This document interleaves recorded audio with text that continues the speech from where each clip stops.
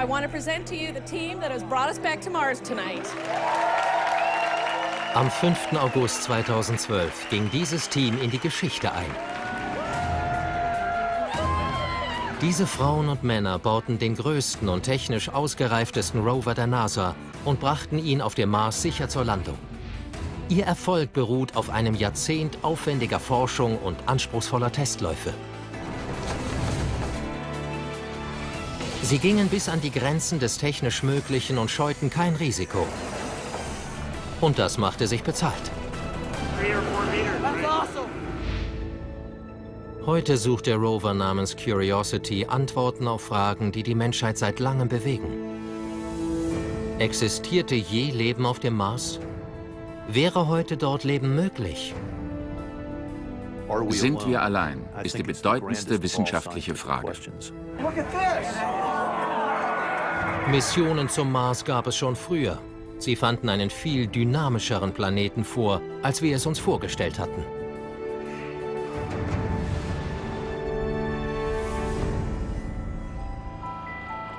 Mit Curiosity beginnt ein neues Zeitalter der Entdeckung, angetrieben von einem lang gehegten Traum.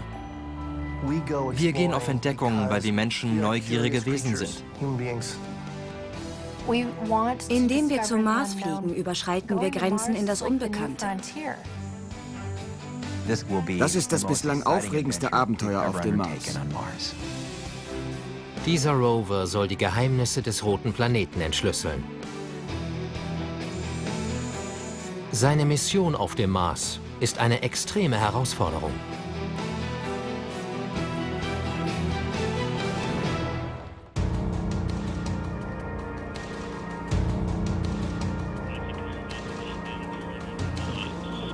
Für mehrere hundert Ingenieure und Wissenschaftler am Jet Propulsion Laboratory in Südkalifornien naht der Moment der Wahrheit.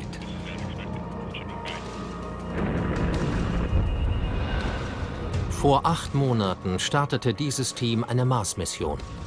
In weniger als einer Stunde wird die von ihnen entworfene und gebaute Raumsonde sicher aufsetzen oder ein unrühmliches Ende finden. Die Chancen stehen gegen sie. Die meisten Mars-Missionen scheiterten. Heute Abend steht ihr guter Ruf, stehen Karrieren auf dem Spiel. Möglicherweise steht die Zukunft des amerikanischen Weltraumprogramms auf Messers Schneide. Was zieht uns immer wieder zu dem roten Planeten hin?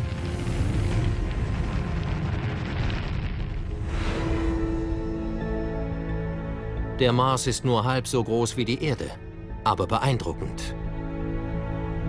Die größte bekannte Schlucht unseres Sonnensystems zieht sich um seinen Äquator, etwa zehnmal länger und dreimal so tief wie der amerikanische Grand Canyon.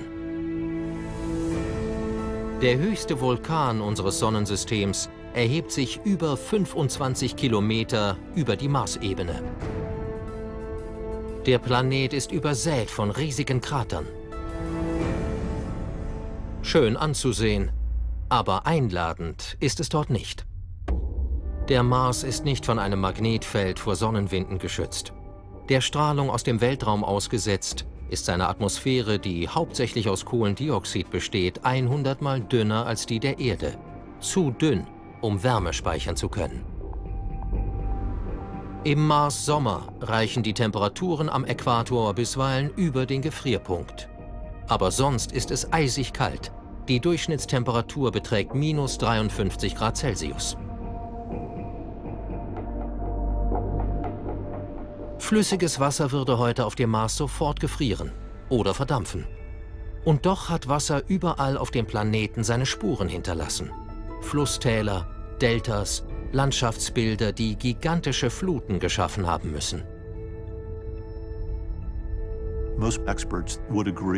Die meisten Experten sind sich einig, dass es vor dreieinhalb oder vier Milliarden Jahren Wasser auf dem Mars gegeben haben muss.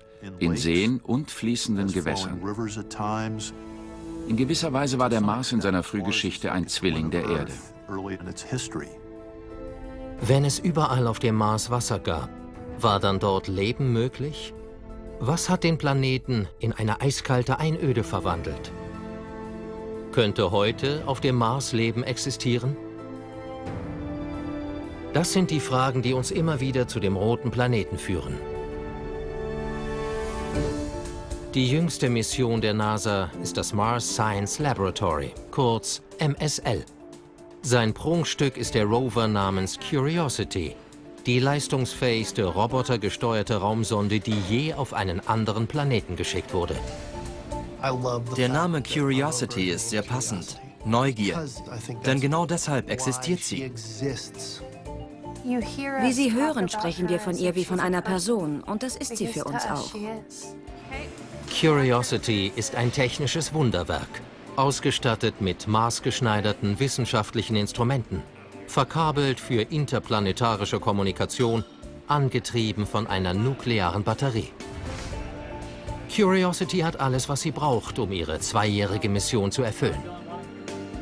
Das Ziel dieser Mission ist die Suche nach bewohnbaren Gebieten. Die Kriterien hierfür lassen sich auf drei sehr einfache Komponenten reduzieren.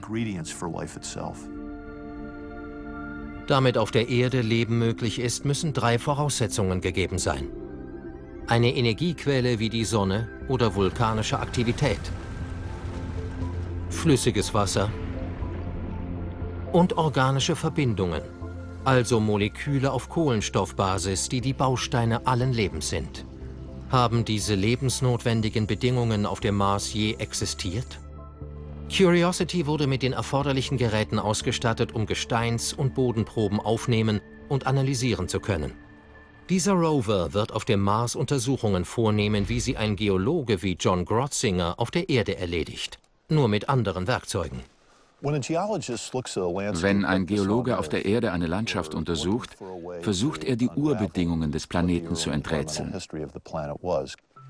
Das Gleiche können wir auf dem Mars mit Hilfe von Curiosity tun. Aber Curiosity stehen Werkzeuge zur Verfügung, um die sie jeder Geologe auf der Erde beneidet. Jeder Geologe hat eine Handlinse, mit der er Steine auf ihre Beschaffenheit untersuchen kann. Curiosity hat als Äquivalent dazu den Mali. Mit dem Mars Hand Lance Imager oder Mali lässt sich Gestein aus der Nähe und aus der Ferne betrachten. Wir können die Linse auf verschiedene Distanzen einstellen, je nach Erfordernis. Ganz sicher besser als das hier. Fotos sind sehr wichtig, denn sie stellen für Messungen und Proben einen Zusammenhang her. Curiosity ist mit 17 Kameras ausgerüstet, mit Teleobjektiven, Objektiven für verschiedene Reichweiten und für Videoaufnahmen. Also um Proben zu sammeln, verwendet ein Geologe einen Gesteinshammer. Damit entnehmen wir auf der Erde Gestein, das sich unter der Oberfläche befindet, um es dann geochemisch zu analysieren. Curiosity bedient sich einer fortschrittlicheren Technik. Ein Laser kann in einer Entfernung von bis zu 8 Metern eine Stelle von der Größe eines Stecknadelkopfes verdampfen. Ein Spektrometer untersucht das Gestein auf seine chemische Zusammensetzung. Außerdem besitzt der Rover einen Bohrer, der Gestein pulverisiert und den freigesetzten Staub auffängt.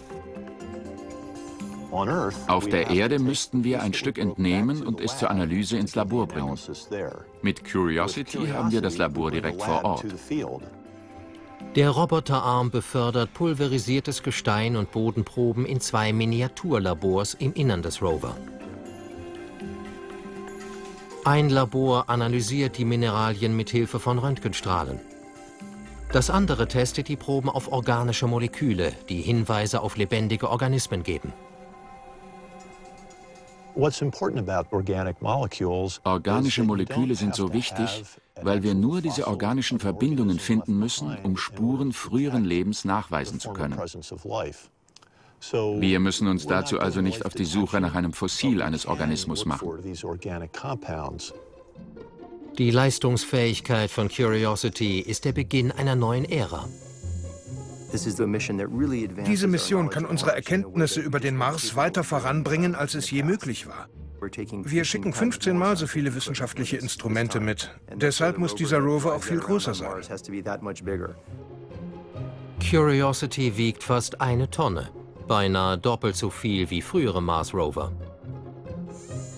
Dabei kommt es bei der Landung auf dem Mars auf jedes Kilo an. Wir brauchten für diese Größe also ein neues Landesystem. Alle bisherigen Landungen erfolgten nach einem ähnlichen technischen Schema. Das Gefährt wurde in eine Kapsel gepackt und mit einem Hitzeschild vor der Reibung beim Eintritt in die Marsatmosphäre geschützt. Dann übernahm ein Fallschirm den Sinkflug. Aber die Atmosphäre des Mars ist zu dünn, um die Kapsel ausreichend abzubremsen, damit sie sanft landet. Welche Möglichkeiten gibt es? Frühere Rover wurden in riesige Airbags gepackt und blieben so beim Aufprall geschützt.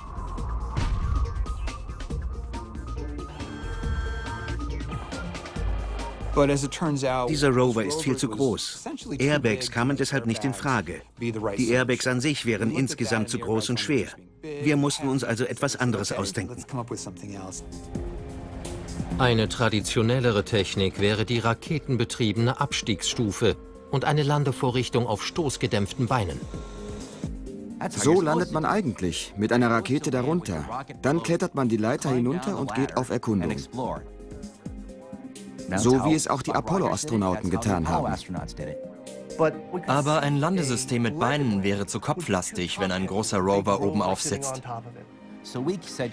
Deshalb überlegten wir, alles umzudrehen, die Triebwerke sozusagen aufs Dach zu setzen und den Rover direkt auf seinen Rädern landen zu lassen.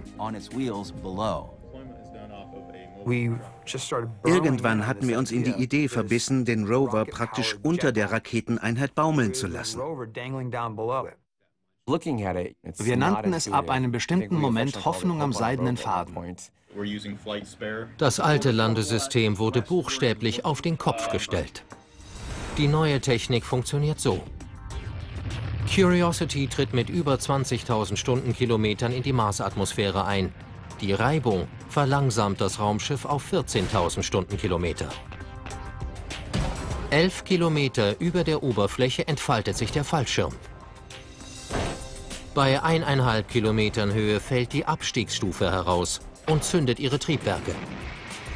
Das sogenannte Sky Crane Manöver beginnt. Die Abstiegsstufe lässt den Rover an Seilen herab. Beim Aufsetzen werden die Seile gekappt. Die Abstiegsstufe fliegt davon und macht in sicherer Entfernung eine Bruchlandung. Das Ganze dauert nur sieben Minuten und erfordert absolute Präzision. Buchstäblich Millionen von Kleinigkeiten müssen absolut präzise ablaufen. Erfolgreich. Oder das Spiel ist aus.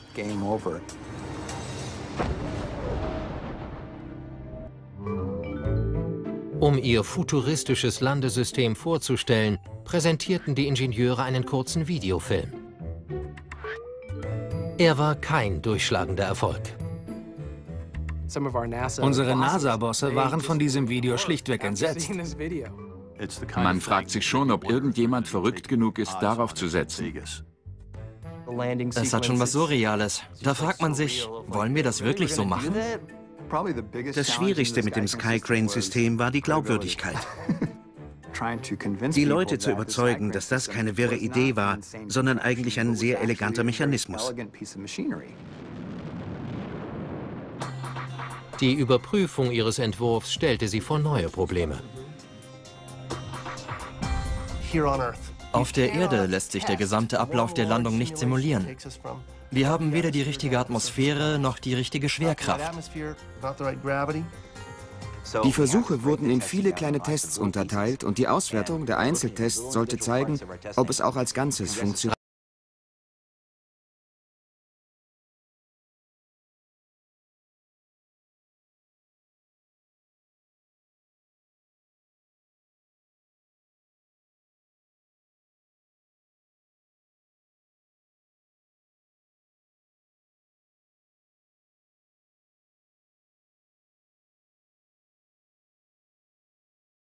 ...30.000 Kilo widerstehen.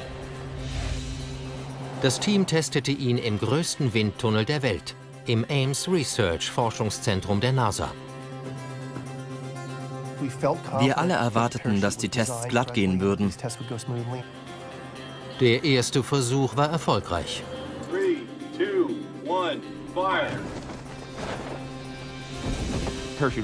Wie der Fallschirm sich öffnet, das Gebäude wackelt, die Messergebnisse, die Begeisterung, unglaublich. Dann kam Test Nummer zwei. Three, two, one, fire! Bad shoot. Oh. Katastrophal. Er ist regelrecht explodiert, ein Haufen Fetzen am Ende des Tunnels. Der Fallschirm ist verloren. Mir kam es vor wie ein persönlicher Verlust, wie ein gefallener Kamerad. Wir waren total überrascht, das hatten wir nicht erwartet. Das Team war verzweifelt. Zur Untersuchung wurde ein minutiöses Testprogramm aufgesetzt, denn die Frage war, gefährdete dieser Fehlschlag die Mars-Mission? Von dem misslungenen Test gab es nur ein grobkörniges Video. Sie brauchten bessere Daten. Deshalb stellten wir an die 14 hochauflösende Kameras auf, Highspeed-Kameras, und zwar aus allen möglichen Blickwinkeln. Falls das noch einmal passieren würde, könnten wir sehen, warum. Sie nahmen die Tests wieder auf und hofften auf das Schlechteste.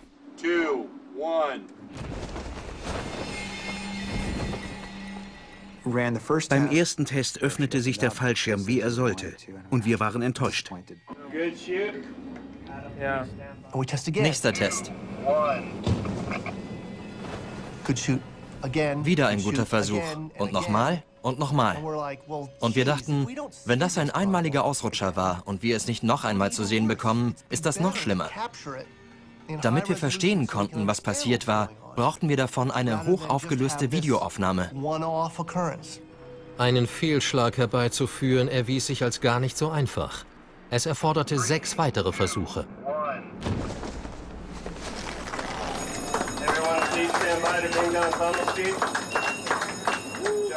Wir waren alle richtig glücklich. Der Fallschirm war geplatzt, aber wir waren froh, denn die vielen Kameras lieferten den schlagenden Beweis. Wie sich zeigte, war es zu einer Inversion gekommen. Die Unterkante des Fallschirms hatte sich auf einer Seite in den Leinen der anderen Seite verfangen. So hatte sich eine Tasche gebildet, die sich mit Luft füllte, den Fallschirm umstülpte und ihn auseinanderriss. Könnte es auch auf dem Mars zu einer solchen Inversion kommen? Das Team musste es herausfinden. Sie untersuchten die Videos monatelang. Und dann dämmerte es ihnen. Im Windtunnel brauchte der Fallschirm viel länger, um sich zu entfalten, als es in der Marsatmosphäre der Fall sein würde. Auf dem Mars ist er in einer Sekunde offen. Im Windtunnel dauert das 6, 7, 8 Sekunden. Bis der Fallschirm sich vollständig mit Luft gefüllt hat, flattern die Kanten. Und das kann passieren, dass sie umklappen, den Rest nachziehen und das Ganze dann umstülpen. Noch aus einem anderen Grund war das Risiko einer Inversion im Windtunnel größer. Hier wird der Fallschirm horizontal entfaltet. Die Schwerkraft wirkt nach unten. Deshalb können sich die oberen Teile in den unteren verfangen. Das wird auf dem Mars nicht auftreten, wo sich der Fallschirm senkrecht öffnet. Es dauerte ziemlich lange, bis uns klar war, dass das ein Problem der Testbedingungen auf der Erde war. Aber Curiosity hat nur diesen einen Fallschirm. Es musste also funktionieren. Das Team war zuversichtlich, dass ihr Fallschirm sich auf dem Mars planmäßig öffnen würde. Nachdem der Fallschirm sich entfaltet hat und das Hitzeschild abgeworfen wurde, übernimmt das Landeradar eine entscheidende Rolle. Es wirft Radiowellen auf die Marsoberfläche und errechnet anhand der Reflexion die Entfernung vom Boden und die Sinkgeschwindigkeit. Diese Messwerte vermitteln Curiosity, wann es Zeit ist, die Triebwerke zu zünden und mit dem Skycrane-Manöver zu beginnen. Perfektes Timing ist der Schlüssel zu einer perfekten Landung.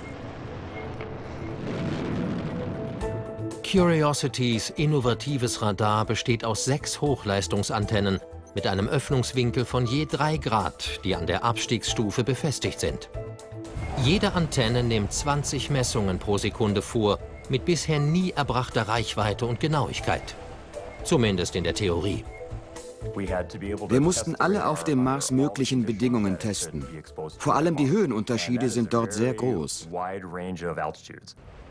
Das Radar wird etwa 8 Kilometer über der Marsoberfläche aktiviert, bei einer Fallgeschwindigkeit von fast 500 Stundenkilometern. Stephen Lee und sein Team brachten ihr System zum Dryden Flight Research Center der NASA. Für eine Serie tollkühner Probeflüge befestigten sie eine Radarantenne unter dem Flügel eines FA-18 Überschalljet.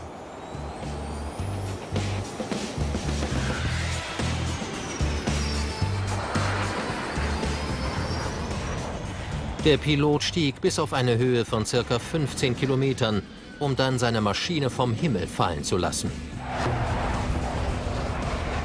Während des fünf bis acht Sekunden langen Falls sendete das Radar Messungen über Höhe und Geschwindigkeit. Die Werte waren absolut exakt.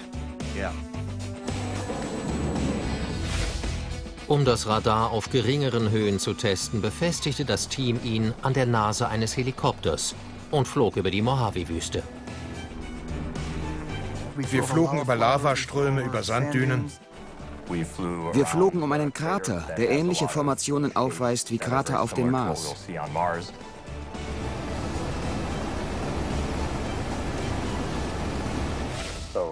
Ein Problem für das Radarsystem war jedoch das Skycrane-Manöver.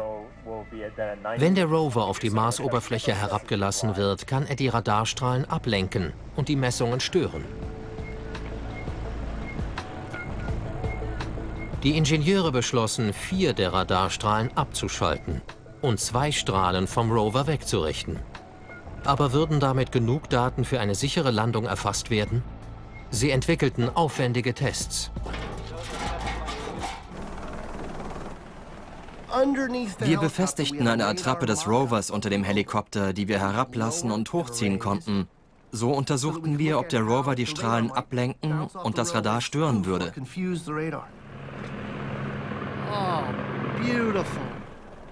Wenn wir diesen Test erfolgreich durchstehen und das Radar von der Rover-Attrappe nicht verfälscht wird, sind wir bereit für den Mars.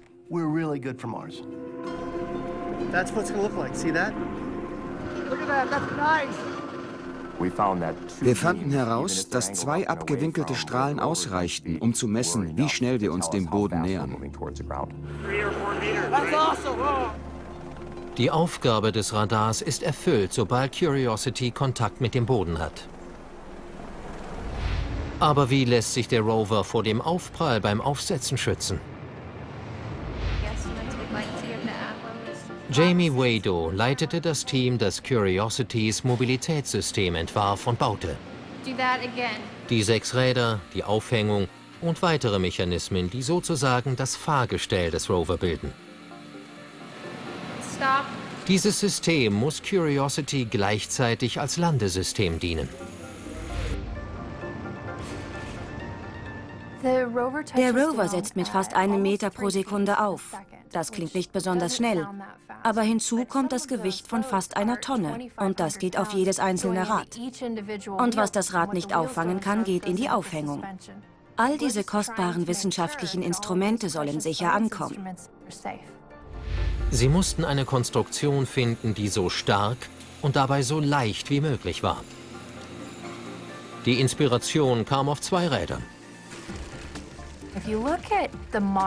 Für moderne Fahrräder wurden erstaunliche Rahmenkonstruktionen entwickelt. Rohre werden in allen möglichen Formen und Winkeln verbaut und sind dabei mehr oder weniger flexibel. Deshalb sprachen wir mit einem Hersteller, der Titanräder entwickelt.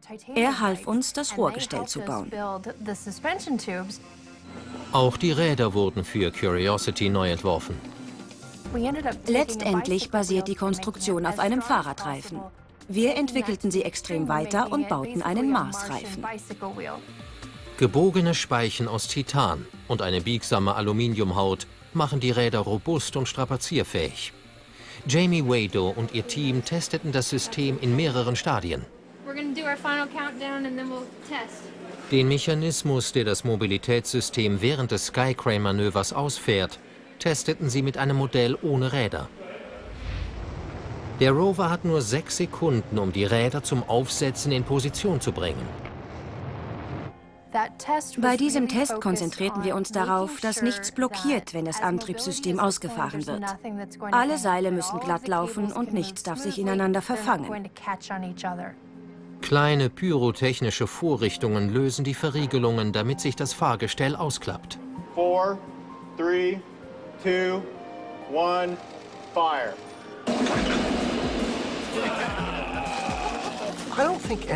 Wohl keiner von uns war darauf gefasst, wie brutal und laut, mit welchem Gepolter das abgehen würde. So als sei sie ein Mensch, fragten sich viele, darf man ihr das antun? Elegant ist es nicht. Aber so ist das, wenn sich 100 Kilogramm Hardware in sechs Sekunden um 60 Grad drehen müssen, um zur Landung bereit zu sein. Mit einem vereinfachten Rover-Modell maß das Team die Belastungen beim Aufsetzen. Diese Simulation war auch ein Test für Jamie Wados Nervenstärke. Ich hatte feuchte Hände, eine trockene Kehle und murmelte Stoßgebete. Und dann ließen sie sie los. Das Aufsetzen war so heftig. Ich hätte am liebsten gesagt, das könnt ihr mit unserem Baby doch nicht machen. Wie bei dem alten Witz. Nicht das Fallen bringt dich um, sondern die Landung. Es ist brutal.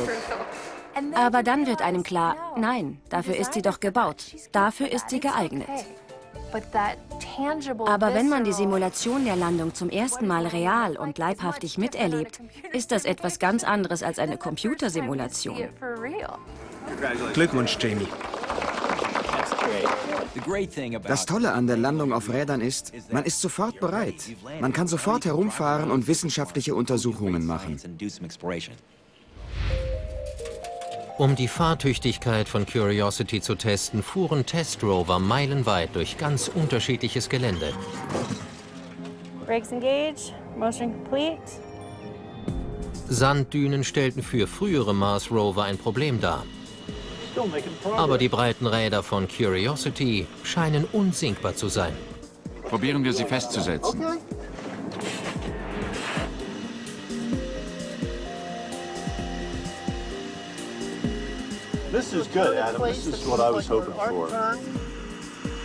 Ich stelle fest, wie schwer es ist, das Ding festzufahren.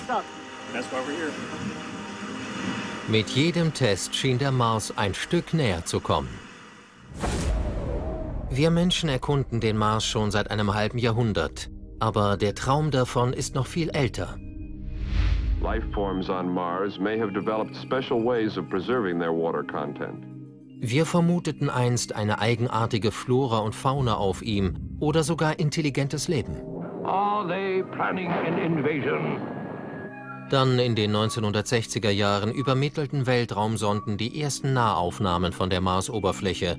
Keine Spur von Städten, Meeren oder Wäldern. Wenn es Leben auf dem Mars gab, musste das mikroskopisch klein sein.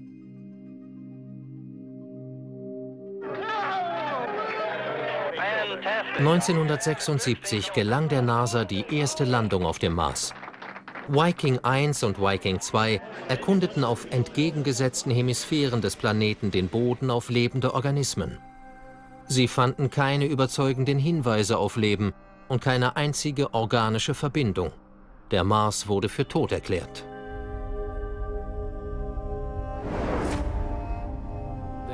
Nach dieser Enttäuschung hörten wir mit der Erforschung des Mars über ein Jahrzehnt auf. Als die Forschung sich dem Mars wieder zuwandte, verfolgte sie einen anderen Ansatz.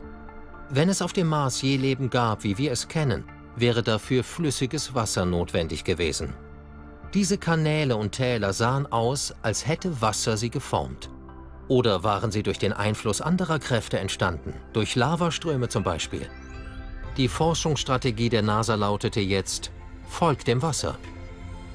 Eine neue Generation von Raumsonden begann, die Marsoberfläche abzusuchen.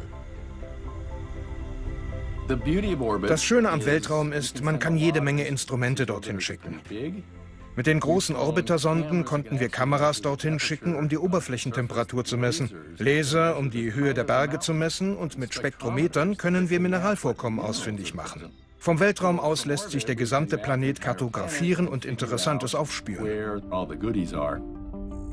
Ein Satellit lokalisierte ein Gebiet, das reich an Hämatit ist, einem Mineral, das sich in Wasser bildet. Wenn man auf dem Mars Hinweise nach Wasser zu finden hofft, dann ruft diese Stelle förmlich danach. Der Rover Opportunity wurde zum Mars geschickt, um genauere Untersuchungen durchzuführen. Er fand auf dem Boden und eingeschlossen in Gesteinsschichten Unmengen winziger Kügelchen. Die Schichtung des Gesteins lässt möglicherweise darauf schließen, dass sie ursprünglich in flüssigem Wasser lagen. Und unser Rover mit seinen vielen Apparaten wird uns darauf eine Antwort liefern. Die Funde, die Opportunity machte, bestätigten, dass es sich um Hämatitkugeln handelte, die sich gebildet hatten wie Perlen in Austern, als das Gestein in Salzwasser lag. Ich glaube, wir parkten genau da, wo einmal die Küste eines Salzmeers war. Großartig. Endlich war ein Beweis für flüssiges Wasser auf dem Mars gefunden worden. Auf der gegenüberliegenden Seite des Planeten ging Opportunities Zwilling, der Rover Spirit, auf Erkundung. Es wurde vermutet, dass sich dort vor Urzeiten ein See befand. Spirit fand im Boden große Mengen schneeweißes Silizium. Es muss unter Einwirkung von Wasser und ungeheurer Hitze entstanden sein. Offenbar sprudelten auf dem Mars in seiner Urzeit überall heiße Quellen.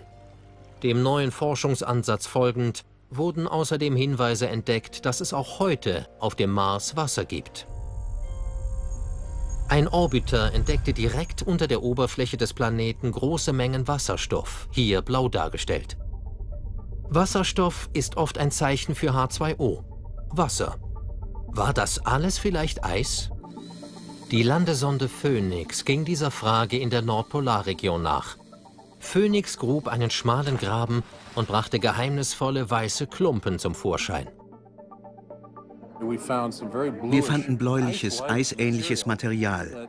Seither streiten die Wissenschaftler unablässig, ob es sich um Eis, Salz oder um ein unbekanntes Material handelt. Innerhalb weniger Tage verdampften die Klumpen. Es war Wassereis. Auf dem Mars gibt es so viel Wassereis, dass der ganze Planet, wenn es schmelzen würde, davon etwa 10 Meter tief bedeckt wäre. Es gibt sogar Hinweise darauf, dass es auf dem Mars auch heute vorübergehend fließendes Wasser gibt. Im Frühling erscheinen auf der Südhalbkugel an manchen Stellen dunkle Streifen, die sich an steilen Hängen herabziehen und im Herbst verblassen. Manche Wissenschaftler vermuten, dass diese Streifen von Salzwasser verursacht werden, das direkt unter der Oberfläche fließt. Diese Panoramabilder aus dem Weltraum revolutionierten unsere Vorstellung vom Mars.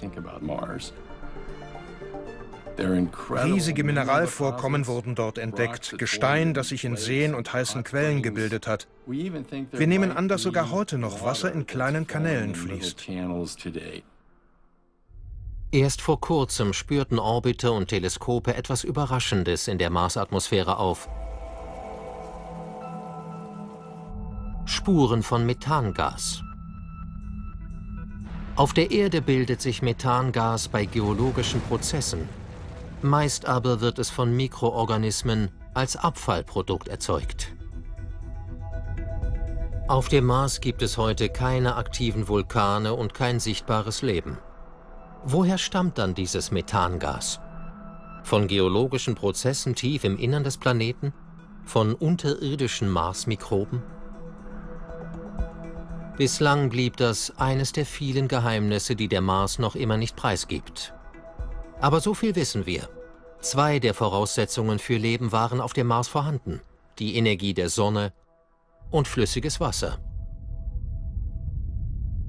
Jetzt steht Curiosity bereit, um den dritten Baustein des Lebens zu finden, organische Moleküle. Dazu muss der Rover Gesteins- und Bodenproben nehmen können. Und diese Fähigkeit hängt ab von der Stärke und Präzision seines robotergesteuerten Arms. Der Roboterarm ist überaus beweglich, denn er hat fünf Gelenke. Er hat ein Azimutgelenk, das sich wie eine Schulter seitlich vor und zurück bewegt. Dann ein Gelenk für die Auf- und Abbewegung, ebenfalls beweglich wie eine Schulter. Dann ein Gelenk wie einen Ellenbogen. Und ein Handgelenk, das sich drehen lässt. Daran schließt sich das Türmchen an, das sich um 360 Grad in jede Richtung drehen lässt. Der Roboterarm ist ein technisches Meisterstück. Im Kopfelement am Ende des Arms, im sogenannten Türmchen, befinden sich Instrumente, die Proben entnehmen, verarbeiten und in die Labors an Bord des Rovers befördern. Curiosity wird nicht die erste Raumsonde sein, die Bodenproben vom Mars nimmt. Aber Bohrer sind auf dem Mars historisch etwas Neues. Seit Apollo wurde nicht mehr auf einem anderen Planeten gebohrt. Die Astronauten hatten es schwer mit Kernbohrern bis zu zwei Metern Länge, aber sie konnten je nach Situation reagieren. Bei Bohrungen auf einem fremden Planeten muss man auf alle möglichen Unbekannten gefasst sein. Wie man den Bohrer sauber hält, wie man ihn von Vibrationen des Motors isoliert, wie man vermeidet, dass er sich im Stein festbeißt. Das alles stellt uns vor große Herausforderungen. Ingenieure testeten mehrere Entwürfe, bevor sie sich auf ein außerordentlich stabiles Modell einigten. Es ist eine Schlagbohrmaschine. So etwas nimmt man zu Hause, wenn man im Beton bohren will. Allerdings will man zu Hause nicht unbedingt den Bohrstaub aufsammeln. Wir aber brauchen ein effektives Auffangsystem. Die Rotation des Bohrers befördert das pulverisierte Gestein in das Türmchen, wo die Probe durch ein Sieb läuft und größere Partikel ausfiltert. Dieser Ablauf erfordert ein starkes Schütteln der Vorrichtung. Meist versucht man, Raumsonden makellos rein und vor Erschütterungen geschützt zu halten. Bei uns ist das Gegenteil der Fall. Wir müssen uns wohl an sehr viel robustere Geräte gewöhnen. Das sind schon eher Erdarbeiten als feine Präzisionsarbeit. Eine Bohrvorrichtung zu bauen, die den Arm- oder Bordcomputer nicht zu sehr erschüttert, war eine große Herausforderung.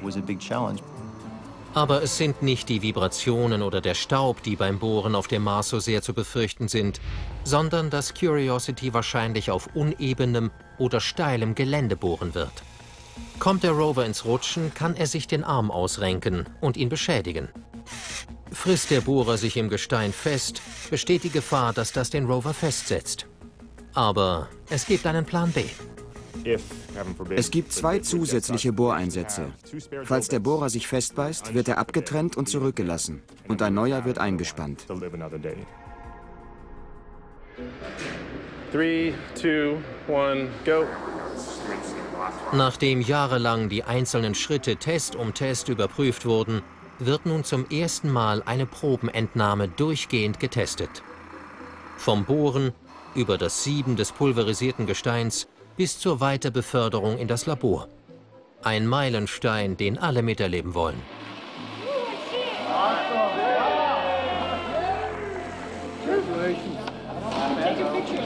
Die Größenverhältnisse sind schon lustig. Wir haben einen Rover von 900 Kilo mit einem Arm von 100 Kilo, um winzig kleine Proben zu entnehmen.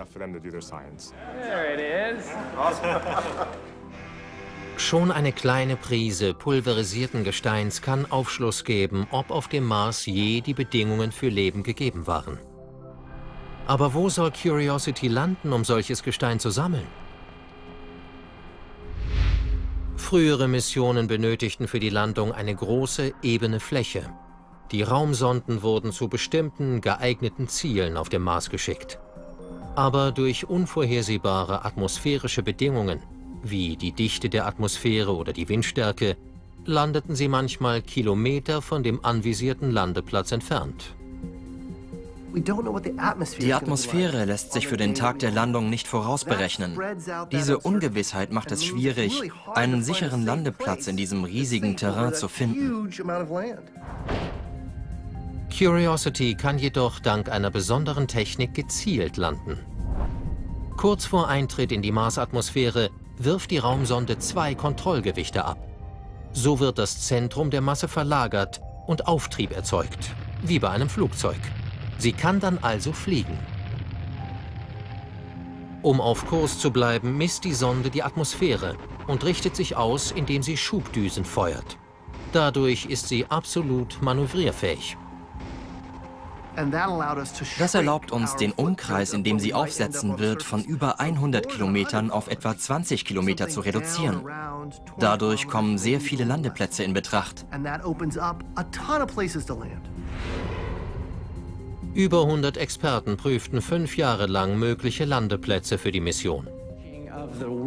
Die Erosionsrinnen wurden vermutlich von einem See im Krater Holden gebildet. Dutzende von Stellen wurden im Detail analysiert und alle hatten eines gemeinsam. Das Grundkriterium war, gab es dort Minerale, die darauf schließen ließen, dass Wasser an ihrer Entstehung beteiligt war. Sonst schied der Ort aus. Die Experten stimmten ab und schließlich wurde der Gewinner verkündet. The votes are in. Gale Crater. Dieser über drei Milliarden Jahre alte Einschlagskrater von 154 Kilometern Durchmesser war möglicherweise einmal gefüllt mit Wasser. Heute erhebt sich darin 5500 Meter über dem Kraterboden ein Berg aus Gesteinsschichten, der Aeolis Mons. Orbiter entdeckten in den unteren Schichten des Berges Minerale, die sich in Wasser bilden. Aus den höheren Schichten lassen sich vermutlich Millionen Jahre der Frühgeschichte des Mars ablesen. Geologen lieben Gesteinsschichten. Das ist für sie wie ein Geschichtsbuch. Bis zum Gipfel fährt Curiosity Schicht für Schicht ab und schlägt so eine Seite nach der anderen um, Kapitel für Kapitel. Wenn wir das Buch vielleicht auch nicht zu Ende lesen, es wird spannend. Im Sommer 2011 war es soweit. Die Hardware für die Mission war gebaut und getestet. Denn es stand ein Termin an, der nicht verpasst werden durfte. Der Mars braucht fast zwei Jahre, um die Sonne zu umkreisen. Sein Abstand von der Erde verändert sich ständig. Die ideale Konstellation, um eine Rakete auf den Mars zu schicken, tritt alle 26 Monate auf. Und dieser Moment rückte unaufhaltsam näher.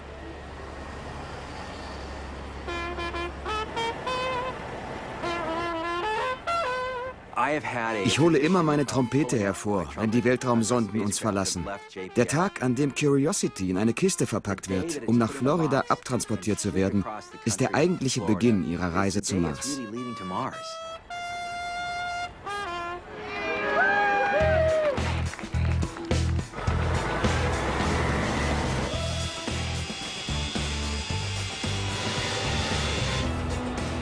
Die Ingenieure, die Curiosity gebaut haben, begleiten sie zum Kennedy Space Center, um sich zu verabschieden. Dann setzt ein neues Team den Rover mit den Marschflugkomponenten zu einer Raumsonde zusammen. Das dauert fünf Monate. Danach wird sie an Bord einer Atlas V-Rakete gebracht.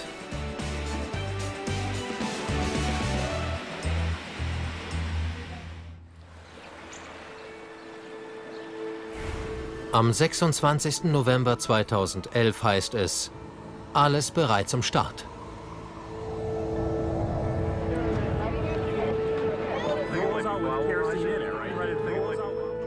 Produce ECS for launch. Roger. SCS count started. Status check. Go Atlas. Go Centaur. T minus 10, 9, 8, 7, 6, 5, 4, 3, two, one.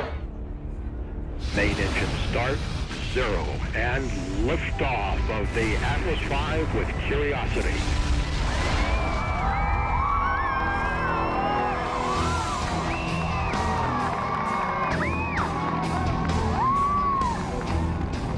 That is beautiful.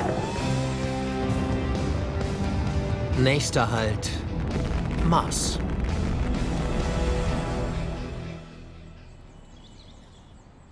Während die Sonne über dem Jet Propulsion Laboratory untergeht, steigt die Erwartung.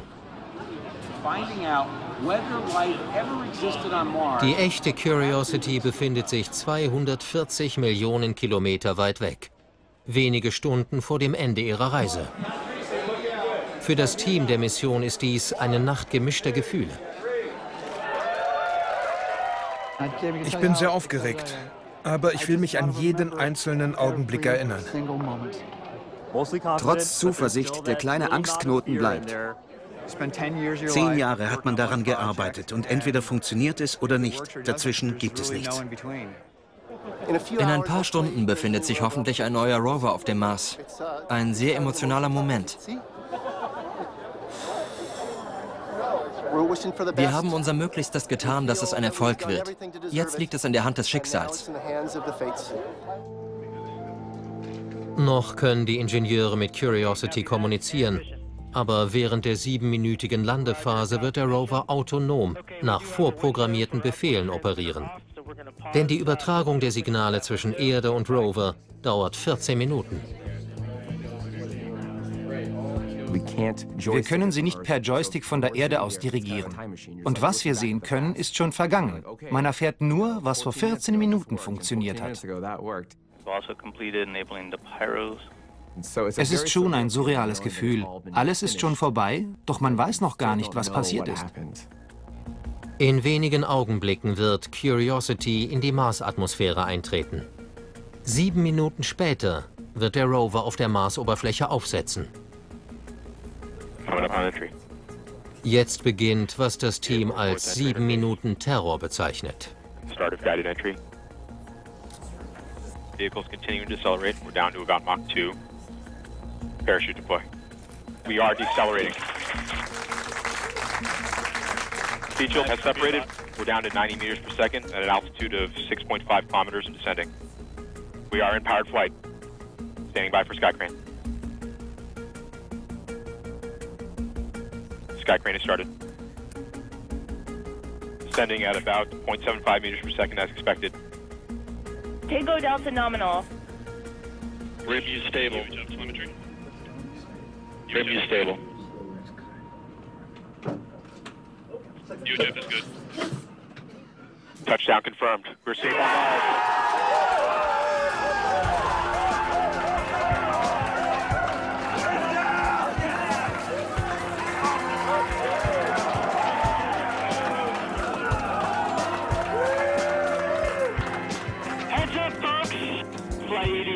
images are starting to come down. Stand by for images. Plötzlich schickt Curiosity sogar Ansichtskarten. Das heißt so viel wie, hallo, mir geht's gut. Wäre schön, wenn ihr auch hier wärt. Und in gewisser Weise ist das Team bei ihr, an diesem sonnigen Nachmittag auf dem Mars.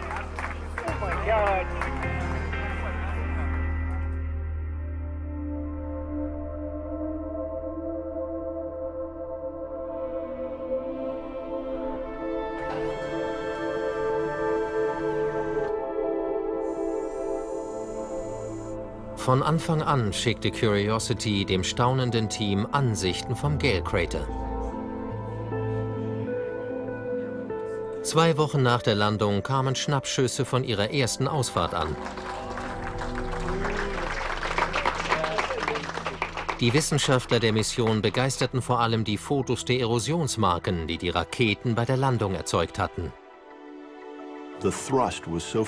Die Schubkraft war so gewaltig, dass sie den Felsuntergrund freilegte. Wir sahen, dass er aus Fragmenten unterschiedlicher Materie zusammengesetzt ist und fragten uns, ob Wasser die Entstehung dieses zusammengebackenen Materials verursacht haben könnte. Da war ein aufregender Hinweis, denn die genaue Beschaffenheit des Geländes, auf dem Curiosity aufgesetzt hatte, war noch unerforscht. Karten aus dem Weltraum ließen vermuten, dass durch eine Schlucht am nördlichen Rand des Kraters Wasser geflossen war, das Steine und Sediment mit sich geführt und diese in einem sogenannten Geröllfächer über den Kraterboden verteilt hatte. Aber reichte dieser Fächer bis zu Curiositys Landeplatz? Fünf Wochen nach Beginn der Mission schickte der Rover erstaunliche Bilder von einem geologischen Aufschluss. Es sieht so aus, als hätte jemand mit einem Presslufthammer ein Stück Bürgersteig in New York aufgestemmt. Bei der Aufsicht erkennt man in der Gesteinsplatte Kies. Die Steine haben runde Kanten, sie wurden alle ein wenig geglättet. Und das erinnert natürlich sofort an ein Flussbett, wo die Kiesel im Wasser bewegt werden, aneinanderstoßen und nach und nach rundgeschliffen werden. Frühere Rover wiesen flache Gewässer und heiße Quellen nach. Aber diese Entdeckung ist neu. Das Team ist ziemlich einstimmig der Ansicht, dass es sich um eine Kiesablagerung handelt, die sich vor Milliarden Jahren in einem Fluss gebildet haben muss. Aus der Größe der Steine schlossen die Wissenschaftler, dass der Fluss eine starke Strömung hatte und etwa hüfthoch Wasser führte. Das ist die erste Stelle, wo wir den Nachweis haben, dass auf dem Mars Wasser geflossen ist. So etwas hatten wir bislang nicht finden können. Curiosity sammelt weiterhin Bodenproben und fördert dabei Minerale zutage, die Ähnlichkeit mit denen in der Vulkanerde Hawaiis haben. Bei den ersten Proben der Atmosphäre am Gale Crater stellten Curiosity-Sensoren Kohlendioxid fest, aber kein Methangas. Vielleicht ist Methangas auf dem Mars nicht gleichmäßig verteilt. Weitere Tests werden das zeigen. Aber es wird wohl noch ein Jahr dauern, bis Curiosity ihr endgültiges Ziel erreicht haben wird, den Aeolis Mons mit seinen Ausläufern aus uralten Gesteinsschichten.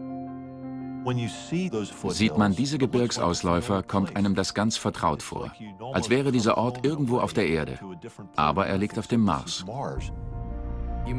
Das könnte auch in der Mojave-Wüste oder irgendwo in Utah sein.